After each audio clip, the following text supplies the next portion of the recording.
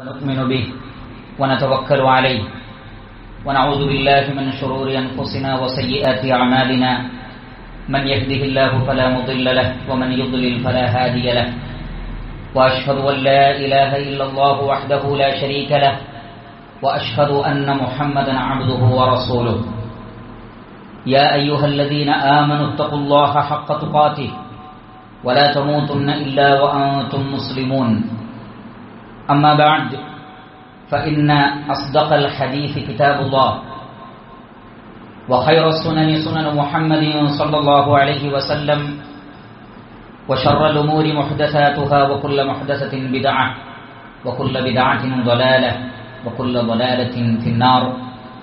الله أكبر الله أكبر. لا إله إلا الله الله أكبر ولله الحمد. الله أكبر الله أكبر.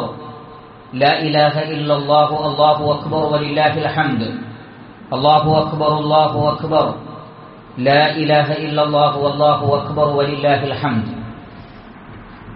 ഏറെ ബഹുമാനമുള്ള വിശ്വാസി സുഹൃത്തുക്കളെ സഹോദരന്മാരെ സഹോദരികളെ പ്രപഞ്ച സൃഷ്ടാവും പരമകാരുണ്യകനും കരുണാവാരിധിയുമായ അള്ളാഹു സുബാനഹുവറ്റ ആലയുടെ വിധികളും വിലക്കുകളും ജീവിതത്തിന്റെ രഹസ്യങ്ങളിലും പരസ്യങ്ങളിലും കാത്തു സൂക്ഷിച്ചുകൊണ്ട് യഥാർത്ഥ മുസ്ലിമീങ്ങളായി ജീവിച്ച് മരിച്ചു പോകുവാൻ കഠിനമായി പരിശ്രമിക്കുകയും അധ്വാനിക്കുകയും ചെയ്യണമെന്ന് സ്വന്തം നഫ്സിനെയും തുടർന്ന് നിങ്ങൾ ഓരോരുത്തരെയും ഏറെ ഗൗരവത്തോടുകൂടി ഓർമ്മപ്പെടുത്തുകയാണ് വസയ്യത്ത് ചെയ്യുകയാണ്. അള്ളാഹു സുഹാനുഭവത്തെ നാം ഏവരെയും അനുഗ്രഹിക്കുമാറാകട്ടെ.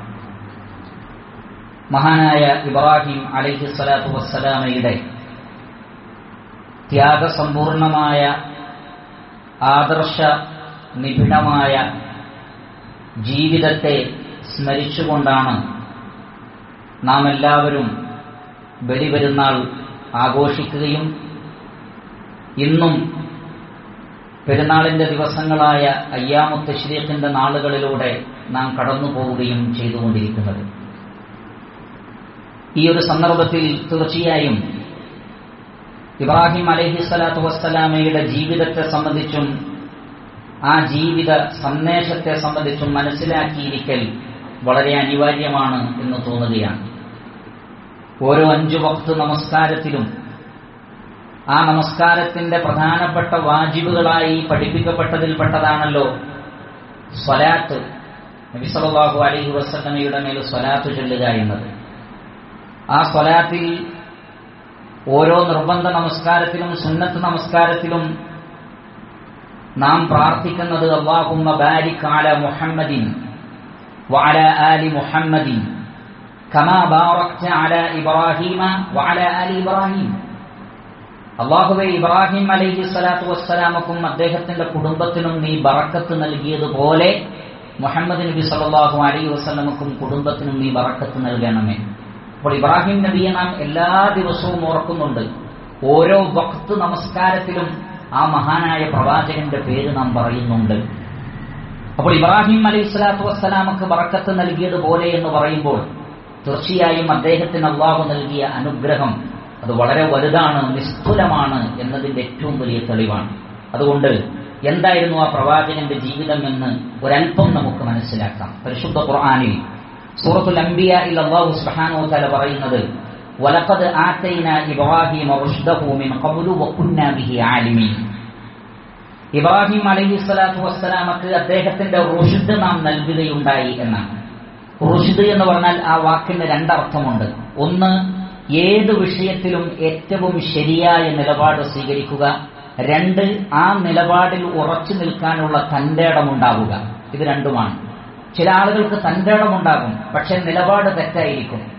വേറെ ചില ആളുകൾക്ക് നിലപാടുകൾ ഉണ്ടാകും പക്ഷെ തന്റേടമുണ്ടാവില്ല ഇത് രണ്ടുകൂടി ഒരുമിച്ച് വരുമ്പോഴാണ് അത് റുഷ്ദായി തീരുന്നത് ഇബ്രാഹിം അലി സ്വലാത്തു വസ്സലാമക്ക് അള്ളാഹു അത് നൽകി എന്നാണ്. എന്നിട്ട് അള്ളാഹു പറയുന്നത് ബിഹി ആലിമീൻ. അദ്ദേഹത്തെ സംബന്ധിച്ച് നേരത്തെ തന്നെ നമുക്കറിയാമായിരുന്നു എന്നാണ്. എന്ന് പറഞ്ഞാൽ പ്രകൃത്യ തന്നെ ജന്മന തന്നെ അദ്ദേഹത്തിന് ആ നിലക്കുള്ള ഒരു പ്രകൃതമായിരുന്നു. ഏറ്റവും ശരിയായ കാഴ്ചപ്പാടും തന്റെ ഇടവും ധൈര്യവും ജന്മനാ തന്നെ പ്രകൃതിപരമായി തന്നെ ഉണ്ടായിരുന്നു.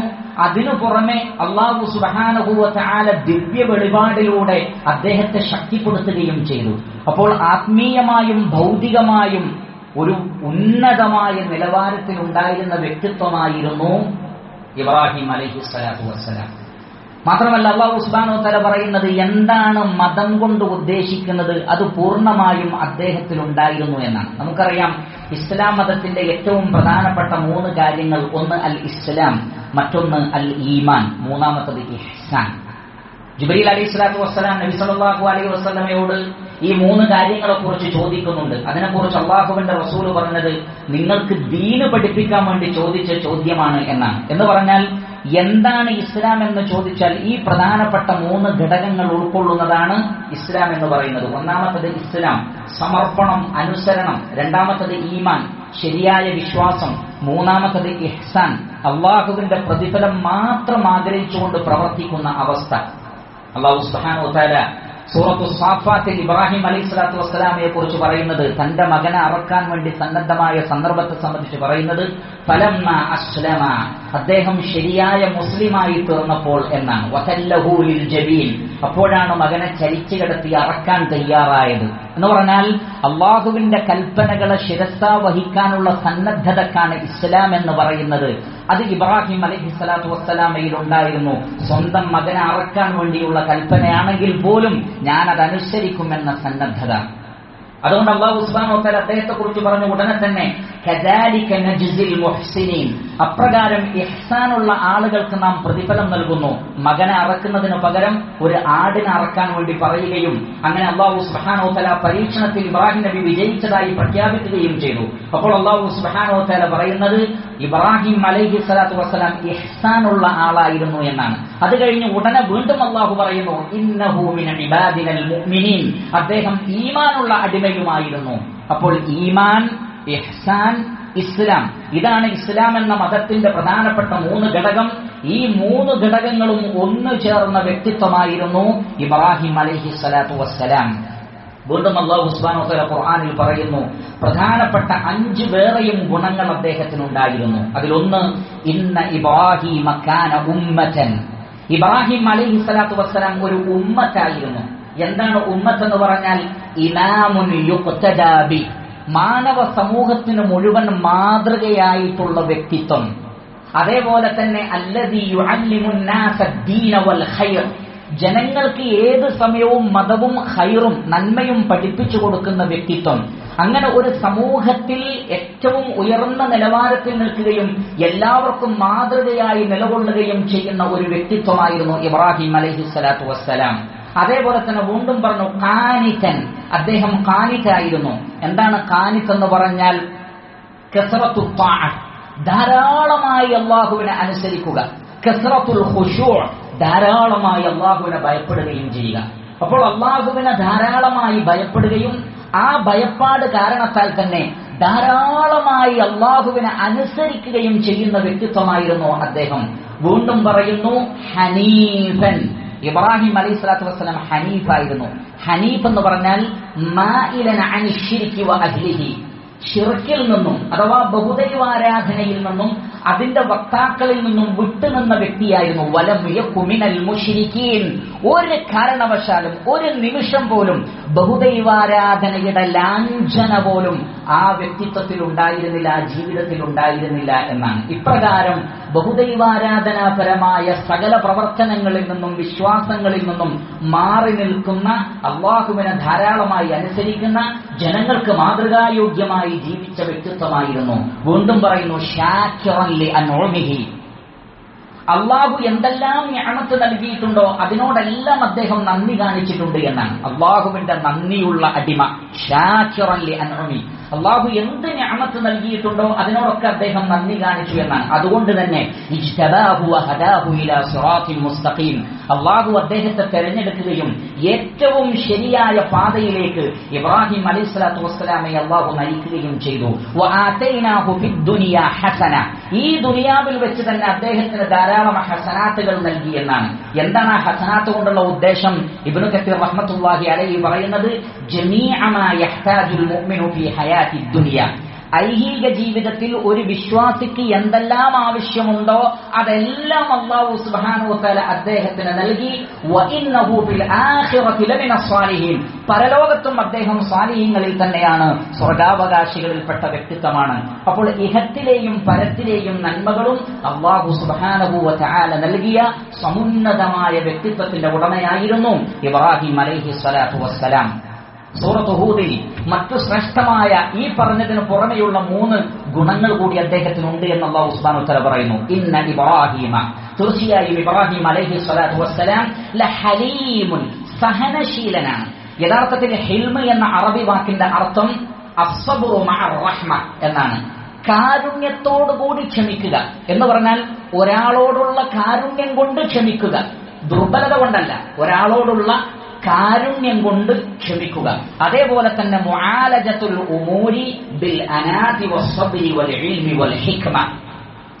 ഹിക്മത്തോടുകൂടിയും അറിവോടുകൂടിയും സാവകാശവും ഒരു വിഷയത്തെ കൈകാര്യം ചെയ്യുക. തിരക്ക് കൂട്ടാതിരിക്കുക. ക്ഷമകേട് കാണിക്കാതിരിക്കുക. യുക്തിയുടെയും യുക്തിബദ്ധതയുടെയും അടിസ്ഥാനത്തിൽ അറിവിന്റെയും കാരുണ്യത്തിന്റെയും അടിസ്ഥാനത്തിൽ ഒരു വ്യക്തിയോട് ഒരു സമൂഹത്തോട് ഒരു വിഷയത്തോട് പ്രതികരിക്കുന്ന വ്യക്തിയായിരുന്നു. ഇന്ന് ഇബ്രാഹിം അൽ ഹലീമുൻ രണ്ടാമത്തത് അവ്വാഹുൻ. അദ്ദേഹം അവ്വാഹായിരുന്നു. എന്താണ് അവ്വാഹ് എന്ന് പറഞ്ഞാൽ? അദ്ദആഉ എന്നാണ് ഒലമാക്കൾ പറഞ്ഞത്. ധാരാളമായി പ്രാർത്ഥിക്കുന്ന വ്യക്തിയായിരുന്നു. എല്ലാ വിഷയങ്ങളിലും പ്രാർത്ഥിക്കും. അല്ലാഹുവേ എന്നെയും എന്റെ മക്കളെയും നമസ്കാരം നിലനിർത്തുന്നവരിൽ ഉൾപ്പെടുത്തണമേ. റബ്ബന വലിൽ മുഅ്മിനീൻ അല്ലാഹുവേ എനിക്കും എന്റെ മാതാപിതാക്കൾക്കും സത്യവിശ്വാസികൾക്കും നീ പുറത്തു കൊടുക്കണമേ. റബ്ബി ജഅൽ ഹാദൽ അല്ലാഹുവേ ഈ രാജ്യത്തെ നീ നിർഭയത്വമുള്ള രാജ്യമാക്കണമേ. വഅരിന മനാസികന വതുബ അലൈന.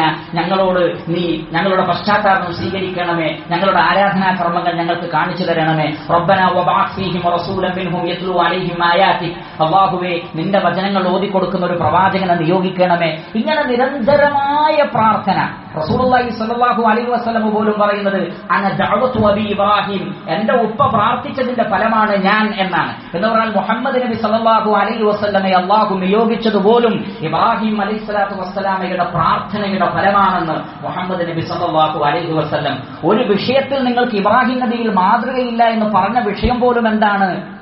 തന്റെ പിതാവിന് വേണ്ടി പാപമോചനത്തിന് വേണ്ടി പ്രാർത്ഥിച്ചു എന്നാണ്. കാരണം ഒരാൾ ഷിർക്ക് ചെയ്തുകൊണ്ട് മരണപ്പെട്ടാൽ ആ വ്യക്തിക്ക് വേണ്ടി പാപമോചനത്തിന് പ്രാർത്ഥിക്കാൻ പാടില്ല. പക്ഷേ ധാരാളമായി പ്രാർത്ഥനാ സ്വഭാവം ഉണ്ടായിരുന്ന ഇബ്രാഹിം അലൈഹി സ്വലാത്തു വസ്സലാം പിതാവിന് പോലും പുറത്തു കൊടുക്കണമേ എന്ന് പറഞ്ഞതിൽ നിങ്ങൾക്ക് മാതൃകയില്ല എന്ന് പറയുമാറ്. ധാരാളമായി ദുആ ചെയ്യുന്ന വ്യക്തിത്വമായിരുന്നു ഇബ്രാഹിം അലൈഹി സ്വലാത്തു വസ്സലാം. വീണ്ടും അള്ളാഹു പറയുന്നു മുനീബുൻ. ഇബ്രാഹിം അലൈഹി സ്വലാത്തു വസ്സലാം മുനീബായിരുന്നു എന്ന് പറഞ്ഞാൽ ഇനാബത്തുള്ള വ്യക്തിത്വം. ഇനാബത്ത് എന്ന് പറഞ്ഞാൽ തൗബ കൊണ്ടും സൽക്കർമ്മങ്ങൾ കൊണ്ടും അള്ളാഹുവിലേക്ക് മടങ്ങുക. എല്ലാ സന്ദർഭത്തിലും തൗബ തന്നെ. ധാരാളം പാപങ്ങൾ ചെയ്തതുകൊണ്ടല്ല. മറിച്ച് എവിടെയും ഒരു ന്യൂനതകൾ സംഭവിച്ചിട്ടുണ്ടെങ്കിൽ നാഥാദി എനിക്ക് പുറത്തു തരണമേ എന്ന ചിന്ത. അതേപോലെ തന്നെ സൽക്കർമ്മങ്ങൾ കൊണ്ടും അള്ളാഹുവിലേക്ക് അടുക്കാനുള്ള ഒരു മാനസികാവസ്ഥ അപ്രകാരമായിരുന്നു ഇബ്രാഹിം അലഹി സ്വലാത്തു വസ്സലാം. വീണ്ടും അള്ളാഹു വതആല ഇബ്രാഹിം നബിയെ സംബന്ധിച്ച് പറയുന്ന ശ്രദ്ധേയമായ മറ്റൊരു കാര്യം. ഇബ്രാഹിം വഫ്ഫ. ഇബ്രാഹിം അലി സ്വലാത്തു വസ്സലാം എല്ലാം പൂർത്തീകരിച്ച പ്രവാചകനാണ്. എന്ന് പറഞ്ഞാൽ അള്ളാഹു എന്ത് കൽപ്പിച്ചിട്ടുണ്ടോ അതെല്ലാം അനുസരിച്ചു. അള്ളാഹു സുബാനോത്താല എന്താണോ കൽപ്പിച്ചത് അതെല്ലാം അദ്ദേഹം അനുസരിച്ചു എന്നാണ്. സുഹൃത്തു ബഖറയിൽ അള്ളാഹു സുബ്ഹാനഹു വതആല പറയുന്നത് വഇദ്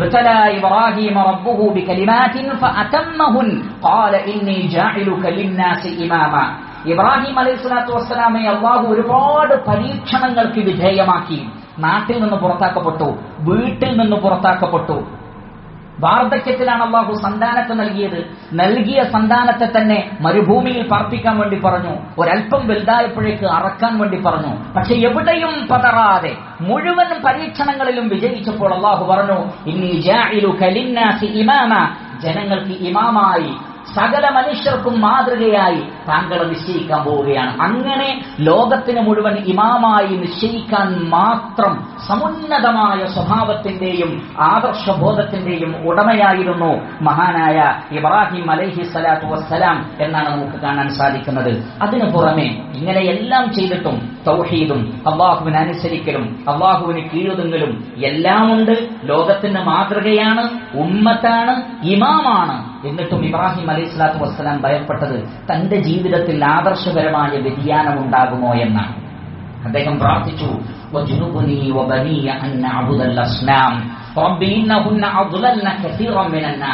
അള്ളാഹുവെ എന്നെയും എന്റെ മക്കളെയും എന്റെ സന്താനങ്ങളെയും വിഗ്രഹങ്ങളെ ആരാധിക്കുന്നതിൽ നിന്ന് നീ കാത്തു സംരക്ഷിക്കണേ എന്നാണ്. ബഹുദൈവാരാധനക്കെതിരിൽ പോരാടിയ അത് പ്രബോധനം ചെയ്ത തൗഹീദ് പ്രബോധനം ചെയ്ത ആ വിഷയത്തിൽ ഇമാമായി അള്ളാഹു തെരഞ്ഞെടുത്ത ഒരു പ്രവാചകൻ പോലും പ്രാർത്ഥിക്കുന്നത് എന്താണ് അള്ളാഹുവെ ഒരിക്കലും എന്റെ ജീവിതത്തിൽ ഷിർക്ക് സംഭവിക്കരുതേ ആദർശ വ്യതിയാനം സംഭവിക്കരുതേ തൗഹീദിൽ നിന്ന് വ്യതിചരിച്ചു പോകുന്ന ഒരവസ്ഥ എനിക്കോ എന്റെ മക്കൾക്കോ ഉണ്ടാവരുതേ എന്ന് ആത്മാർത്ഥമായി പ്രാർത്ഥിക്കുകയാണ് മഹാനായ ആ പ്രവാചകൻ. അതേപോലെ തന്നെ അള്ളാഹു സുഹാനോ വതആല ഇബ്രാഹിം അലൈഹി സ്വലാത്തു വസ്സലാമയെ സംബന്ധിച്ച് പറയുന്നത് സലീം എന്നാണ് ഇബ്രാഹിം അലൈഹി സ്വലാത്തു വസ്സലാം തന്റെ റബ്ബിന്റെ അടുക്കലേക്ക് വന്നത് സലീം സലീമായ ഹൃദയത്തോടു കൂടി എന്നാണ് എന്ന് പറഞ്ഞാൽ സുരക്ഷിതമായ ഹൃദയം. ഇബ്രാഹിം അലൈഹി സ്വലാത്തു വസ്സലാമയുടെ ഹൃദയം സുരക്ഷിതമായിരുന്നു എന്ന് പറയുമ്പോൾ ഉലമാക്കൾ പറഞ്ഞു എന്താണ് സലീമായ ഹൃദയം കൊണ്ട് ഉദ്ദേശിക്കുന്നത്?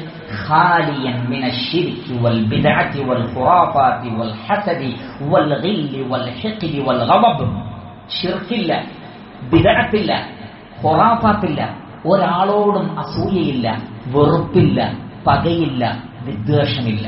അങ്ങനെ ഹൃദയത്തിൽ എന്തെല്ലാം രോഗങ്ങൾ ഉണ്ടാവാൻ സാധ്യതയുണ്ടോ അത്തരത്തിലുള്ള ഒരു രോഗവും അദ്ദേഹത്തിന്റെ ഹൃദയത്തിന് ഉണ്ടായിരുന്നില്ല എന്നാണ്. ഈ പുരൂപിയും എന്ന് പറഞ്ഞല്ലോ. ചിലരുടെ ഹൃദയങ്ങളിൽ ഒരു രോഗമുണ്ട്.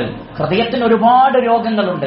ആ രോഗങ്ങളിൽ നിന്നെല്ലാം മുക്തനായ ശുദ്ധമായ ഹൃദയത്തിന്റെ ഉടമയായിരുന്നു ഇബ്രാഹിം അലഹി സ്വലാത്തു വസ്സലാം എന്നാണ്. അങ്ങനെയുള്ള ഉന്നതനായ ഒരു മഹാനായ പ്രവാചകന്റെ ജീവചരിത്രവും ആദർശവും സ്മരിക്കപ്പെടുന്ന ഈ ദിവസങ്ങളിൽ ആ മഹാനായ പ്രവാചകന്റെ ജീവിതത്തിൽ നിന്ന് പാഠം ഉൾക്കൊണ്ടുകൊണ്ട് ഞാനും നിങ്ങളും ജീവിക്കുക അള്ളാഹു സുഹാനുത്താല നാം ഏവരെയും അനുഗ്രഹിക്കുമാറാകട്ടെ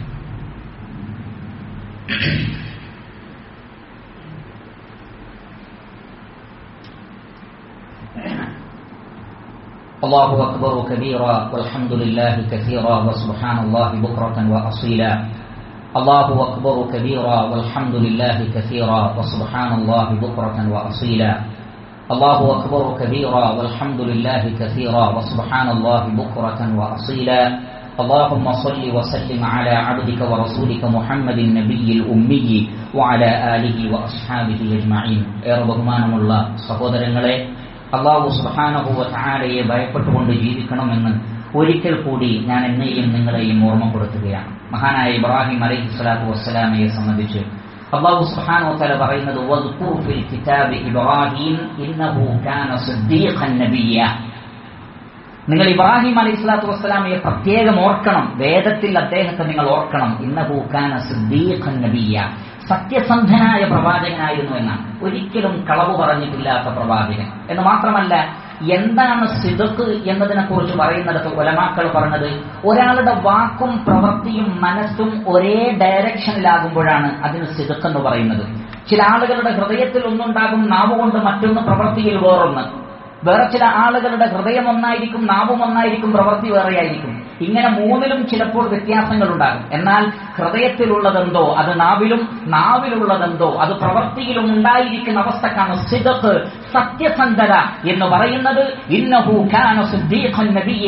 തീർച്ചയായും ഇബ്രാഹിം അലൈഹി സ്വലാത്തു വസ്സലാം അപ്രകാരം സിദ്ദീഖായിരുന്നു എന്ന് പറയുമ്പോൾ തീർച്ചയായും ആ ഒരു ആശയത്തിൽ എനിക്കും നിങ്ങൾക്കും പാഠമുണ്ട് എന്ന് നമ്മൾ മനസ്സിലാക്കണം. അതേപോലെ തന്നെ അതിഥികളെ അങ്ങേയറ്റം ആദരിക്കുകയും ബഹുമാനിക്കുകയും ചെയ്യുന്ന വ്യക്തിത്വമായിരുന്നു. അള്ളാഹു സുഹാനോ ചോദിക്കുന്നുണ്ട് ഖുർആാനിൽ പല സ്ഥലങ്ങളിൽ.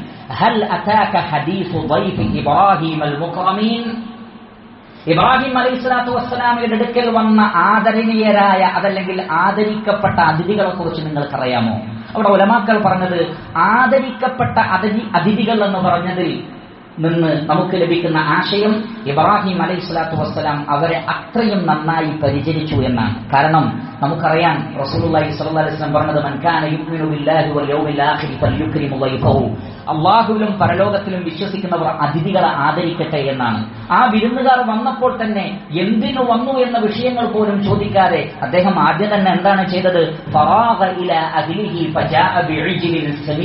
അവരാരും അറിയാതെ തന്റെ കുടുംബത്തിലേക്ക് പോയിട്ട് പിന്നീട് നല്ല ഒരു മൂരിക്കുട്ടനെ നന്നായി വേവിച്ച് കൊണ്ടുവന്ന് വെച്ചു കൊടുക്കുകയാണ്. എന്നിട്ടാണ് മറ്റു വിഷയങ്ങൾ സംസാരിക്കുന്നത്. ഇപ്രകാരം അതിഥികളെ ആദരിക്കുകയും ബഹുമാനിക്കുകയും ചെയ്ത വ്യക്തിത്വമായിരുന്നു മഹാനായ ഇബ്രാഹിം അലഹി സ്വലാത്തു വസ്സലാം. അതുകൊണ്ട് തന്നെ ഈ എല്ലാ ഗുണങ്ങളും ഉള്ളത് കൊണ്ട് തന്നെ അള്ളാഹു തആല ഇബ്രാഹിം അലൈഹി സ്വലാത്തു വസ്സലാമയെ ഖലീലായി തെരഞ്ഞെടുത്തു. ഇബ്രാഹിമ ഇബ്രാഹിം അലൈഹി സ്വലാത്തു വസ്സലാമെ അള്ളാഹു ഖലീലായി തെരഞ്ഞെടുത്തു.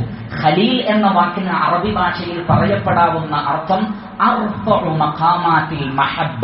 സ്നേഹത്തിന്റെ സ്നേഹത്തിന്റെ ഏറ്റവും ഔന്നിത്യമേറിയ ദറജക്കാണ് അത് പറയുന്നത്. ഒരാളുടെ സ്നേഹം മറ്റൊരാളുടെ ആത്മാവിൽ അള്ളിപ്പിടിച്ചു കഴിഞ്ഞാൽ അപ്പോൾ പറയുന്ന പേരാണ് യഥാർത്ഥത്തിൽ ഖലീൽ എന്നത്. അള്ളാഹു സുബാനോ തൽ അവന്റെ സൃഷ്ടികളിൽ രണ്ടാളെ മാത്രമേ അങ്ങനെ തെരഞ്ഞെടുത്തിട്ടുള്ളൂ. ഒന്ന് ഇബ്രാഹിം അലഹി സ്വലാത്തു വസ്സലാം മറ്റൊന്ന് മുഹമ്മദ് മുസ്തഫ സല്ലാഹു അലഹി വസല്ലം. ഈ രണ്ട് വ്യക്തിത്വങ്ങളെയാണ് അള്ളാഹു സൃഷ്ടികളുടെ കൂട്ടത്തിൽ ഖലീലായി തെരഞ്ഞെടുത്തത്. അങ്ങനെയുള്ള ഔന്നിത്യമായ ഒരു സ്ഥാനം ഇബ്രാഹിം അലൈഹി സ്വലാത്തു വസ്സലാമക്ക് അള്ളാഹു സുഹാനഹുവ നൽകി. അതിന്റെ ഒരു കാരണമായി ഉലമാക്കൾ പറയുന്നത് ഈ പറയപ്പെട്ട എല്ലാ കാരണങ്ങളും ഉള്ളതോടൊപ്പം തന്നെ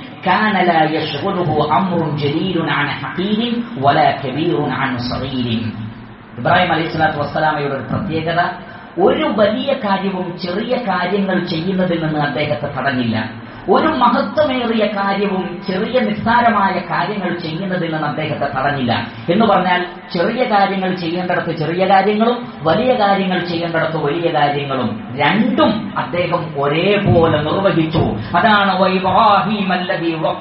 മുഴുവൻ കാര്യങ്ങളും പൂർത്തീകരിച്ചു നൂറിൽ നൂറ് മാർക്ക് നേടിയ മഹാനായ ഇബ്രാഹിം അലഹി സ്വലാത്തു വസ്സലാം. അതുകൊണ്ട് മുഹമ്മദ് നബി സല്ലല്ലാഹു അലൈഹി സ്വലമയോട് അള്ളാഹു പറഞ്ഞു മില്ലത ഇബ്രാഹിം ഹനീഫ. ഋജുമാനസനായ ഇബ്രാഹിം നബിയുടെ മില്ലത്തായിരിക്കണം മുഹമ്മദ് നബിയെ താങ്കൾ ഫോളോ ചെയ്യേണ്ടത്. എന്നോടും നിങ്ങളോടും അള്ളാഹു ഉസ്മാൻ ഉത്തര പറഞ്ഞു ഇബ്രാഹിമ ഹനീഫ.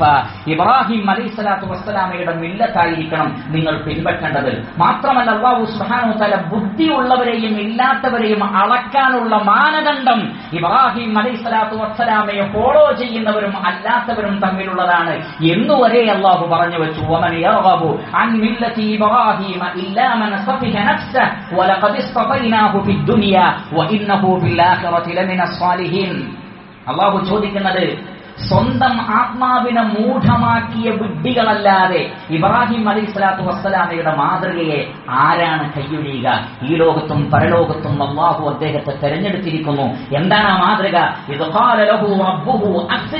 തന്റെ രക്ഷിതാവ് അദ്ദേഹത്തോട് പറഞ്ഞു താങ്കൾ അള്ളാഹുവിനെ അനുസരിക്കുന്ന ആളായി തീരണം. മുസ്ലിം എന്ന് പറഞ്ഞാൽ അതാണ് പ്രിയപ്പെട്ട സഹോദരങ്ങളെ. അള്ളാഹുവിന്റെ കൽപ്പനകളെ അനുസരിക്കുന്നവനാണ് മുസ്ലിം. അപ്പോൾ അദ്ദേഹം പറഞ്ഞ മറുപടി എന്താണ്?